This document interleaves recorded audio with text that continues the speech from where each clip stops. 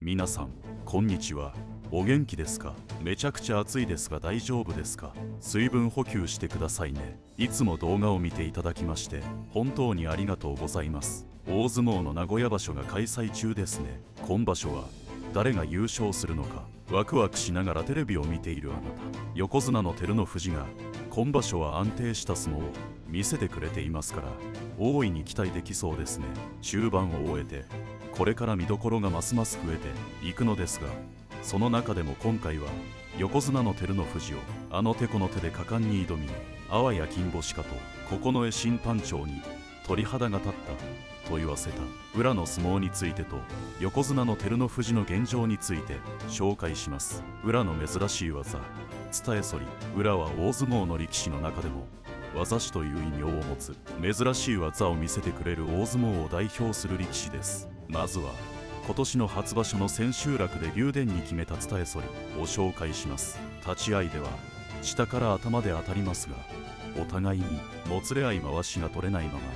この体勢になります。そしてこの体勢から竜電の左腕を抱えながらすっと腰を落としていきます。そうなると竜電は右手が回しから離れてしまい左手は裏に抱え込まれていて身動きが取れません。裏は全体重をかけて反るので竜電の体は左腕を取られているので土俵に叩きつけられるのです。さらに左腕も使い後ろに跳ね上げています。コンマ何秒竜電が早く土俵に落ちるので裏の勝利となるのです。このような大技を出して勝つことができる力士は他にはいないので裏は技師という異名があるし相撲ファンは裏の取り組みは注目して見ているのです。イゾリ。伝え反りの基本形となるのがこのイゾリです。令和2年11月場所極州法との対戦で出ました。裏はこの取り組みでは立ち合いから姿勢を低くして相手に近づこうとせず極州法の左腕を取るとすかさず頭を低くして相手の下に潜り込みます。そして後ろ向きに沿って左手も同時に極州法の体を後ろに押し出すように全体重をかけながら大きく体を反らせます。極州法は不意打ちを食らって吹き飛んでいきました。これが基本の形でイゾリといるのです。裏がこのイゾリができるのは理由がありそれは小学3年生から相撲と合わせてレスリングも練習していたのですが裏少年はタックルに失敗したら相手に覆いかぶされるのですがその耐えている隙を狙って繰り出した技が飛行機投げで相手を担ぎ上げて左肩方向に落とす技で全国2位になったこともあるのです。そのレスリングで身につけた飛行機投げという技ができたので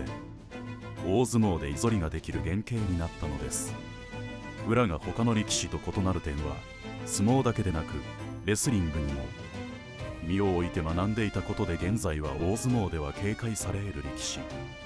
として影響を与えているのです。他にも裏はずぶ練りや足取りなど多彩な技で相撲ファンを魅了しているのです。裏と照ノ富士との取り組み令和6年の名古屋場所7日目の結びの一番では立ち合いから裏は照ノ富士の下から潜り込もうとする作戦で体勢を低くしたり照ノ富士に捕まらないように右腕を取りながら左にかわします。照ノ富士が裏の回しをつかもうとする手を払いのけるように今度は右にかわしていき一旦は離れます。次は肩透かしを狙い照ノ富士に回しを取らせまいと裏は必死でかわします。照ノ富士は左手を裏の上から一旦は掴みますが裏は体勢を低くするので回しに手が届くのですが照ノ富士は手を離します。裏は何としてもチャンスをつかみたいと照ノ富士に捕まるのを避けて照ノ富士の周りをくるりと一回りしますが照ノ富士は落ち着いた対応で裏につけ込む隙を与えません。がっぷりで捕まえると照ノ富士はがっちりと裏を捕まえてぐいぐいと土俵際へと圧力をかけていき最後はこのように裏は左手を上げたままの状態で照ノ富士に捕まって何も抵抗することができなくなり寄り切られてしまいます。裏にチャンスは結果として裏は負けましたが一瞬で決まりやすい横綱戦でここまで粘れたことは観客からは大声援を受けることになりました。決して諦めない裏の相撲でしたね。しかし何度も照ノ富士はくるくるとかわされますが焦らずに落ち着いた対応ができていました。裏は何をするかわからない警戒される力士なのですが今回は照ノ富士に軍配が上がりました。裏にとってはくるくる振り回していきながらバランスを崩せば照ノ富士の横から一気に押し出すこともできたかもしれないです。しかし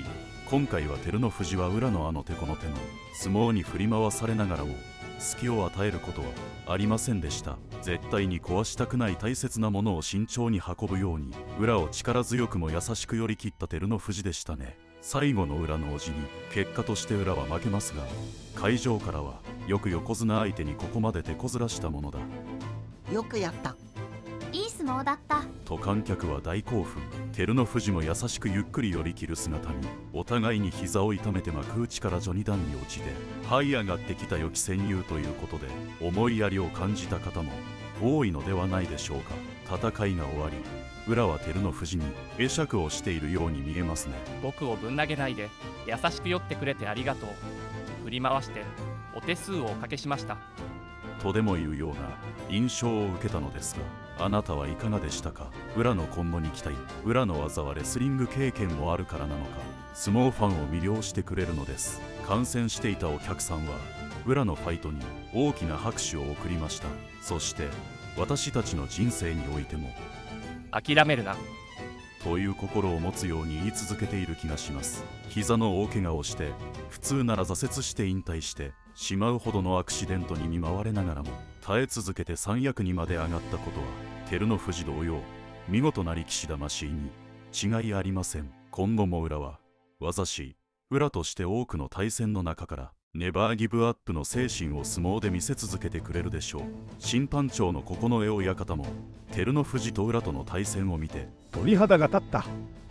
と相撲の勢いに感激していましたね。照ノ富士の優勝の期待。照ノ富士は膝の大怪我で地獄を見てきた力士です。大関から序二段までぶち落ちてからの復活劇はどの親方衆からも大絶賛されています。名古屋場所では無傷の7連勝で全くの隙がない。ことは今回の裏との対戦で裏付けることができた。かと感じました。初日からの取り組みを全て振り返ってみましたが相手を圧倒しているのでまさに横綱相撲ですね。危ない場面はありませんでしたので現在の照ノ富士は絶好調ではないかと感じます。圧倒的なパワーと落ち着いた判断力先場所までの相手に隙を与えていた照ノ富士とは全く異なりますから覚醒したとも言えるかと思います。後半戦もこの調子で白星を重ねていくことができれば今場所は大きな怪我をしなければ間違いなく優勝は固いでしょう。裏も勝ち越しを目指して素晴らしい相撲。ナイスファイトで見応えのある素晴らしい相撲を見せてくれること願います。最後までご視聴していただきありがとうございました。あなたのコメントやいいねをいただけると嬉しいです。よろしければチャンネル登録もお願いいたします。それでは失礼いたします。